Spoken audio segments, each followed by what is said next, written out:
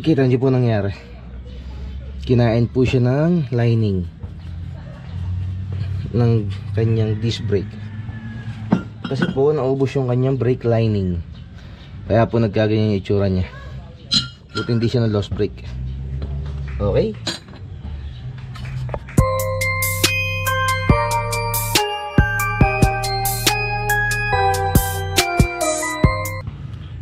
Hi guys, it's me Bok again. Welcome po sa aking vlog. Today po, samahan nyo akong mag palit ng rotor disc tsaka po disc brake ng Innova. Toyota Innova po ang ating papalitan. Okay po.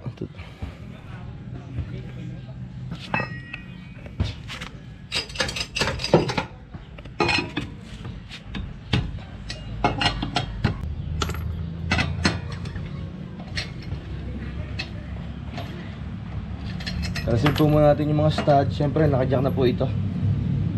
Para ano. Saka huwag nyo kalimutan yung handbrake pagka yung nagkakalas kayo ng gulong para safety. Para hindi siya gagalaw. Tapos po yung mga tinanggal na tornilyo, siyempre dapat po magkakasama. Para po hindi mahirap hanapin. Kaya hugutin na po natin yung gulong. Yan sa ilalim para in case na gumalaw siya hindi siya basta babagsak. Okay tanggalin po natin yung dalawang 14 po sa likod.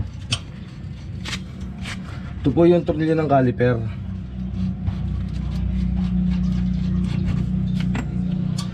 Dalawang 14 lang to dalawang bolt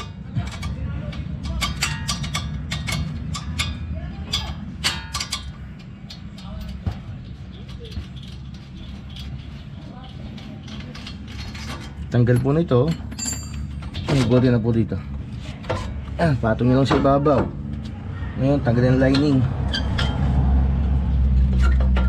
Tanggal po yung lining pero bakal na oh. tapos kailangan po tanggalin natin itong mismong bracket ng lining na to. Pinaka holder meron po ng dalawang tornilyo. Sa likod. Dalawa po itong D7 Yan. Pagkatanggal po ng bolts, mahuhugot na po itong mismong bracket na to. Yung mismong kabitan po ng lining. Kung so, tinanggal natin, ito po yung rotor disc. Ito po yung papalitan natin. Kita niyo po nangyari. Kinain po siya ng lining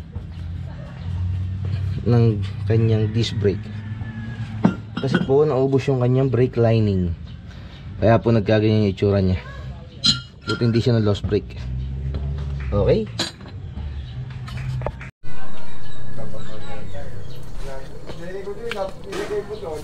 Okay guys, nandito na yung mga pampalit natin na pyesa. Ito yung rotor disc from Toyota. Tsaka yung kanyang lining. Brake lining.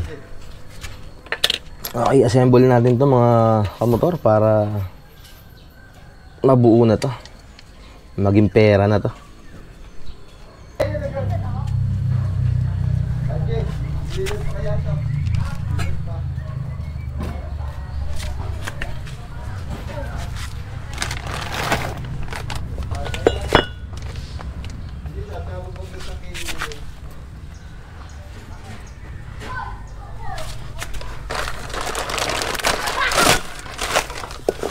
Ito siya. Pamalit natin mga kamotor. Genuine na genuine from Toyota. Tapos kapit na natin tong kabitan ng lining.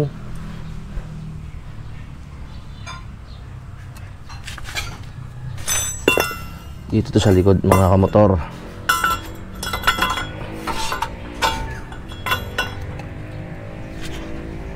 Meron siyang dalawang bolt sa likod 17 17 yung size ng bolt nya ito.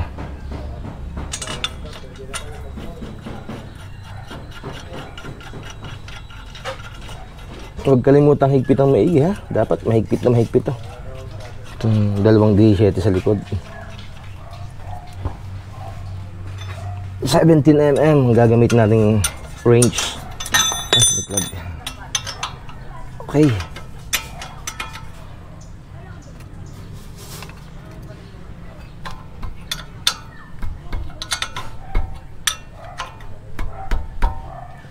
Okay, mahigpit na siya.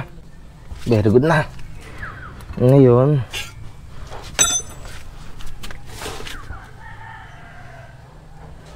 kasi natin itong lining. Ito yung bagong lining ni kakabit natin.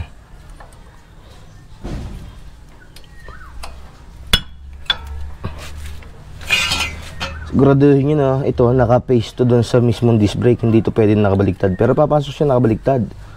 Uh, basta siya dapat nakalapat dito. Yan, ganyan. Ganyan yung forma niya. Kasi pag nagkabaligtad kayo ng kabit nito, nako. Sigurado. Sira yung pinaka-disc brake na naman. Yan. Bagong bago disc brake natin. Naikot siya. Kompleto yung pinaka-lock. Ayan. Tingnan nyo. Tamang forma ng kabit niya.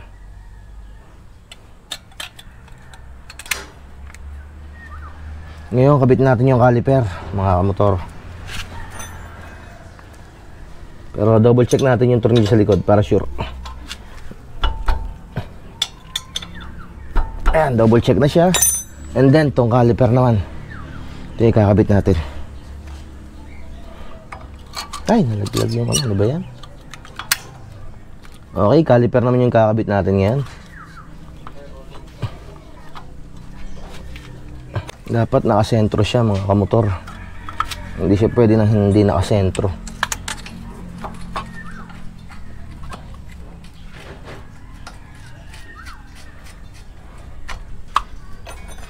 Okay. Dalawang ano to, dalawang bolt na 14 to. Nakakabit sa caliper niya.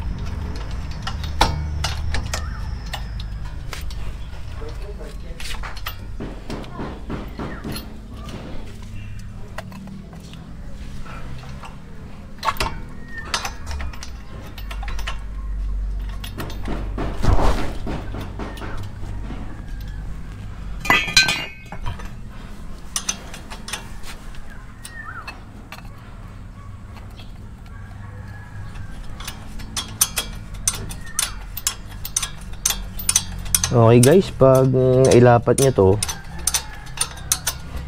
dapat higpitan din maigi itong pinaka-bolt na to ha.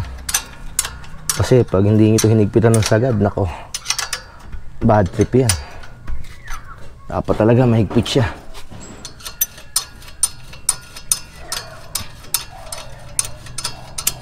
Dalawa tong bolt and nut na to ha. Pinaka-bolt pala. Wala pala tong nut, bolt lang.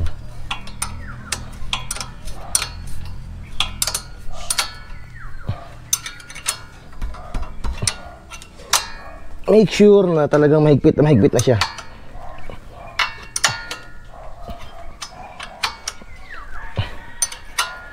Okay.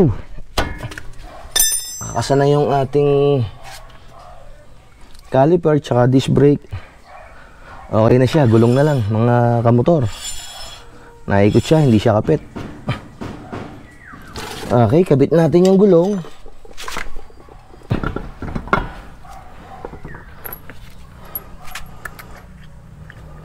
medyo finish na tayo. Thank you for watching my video. Uh, please subscribe my channel, mga kamotor.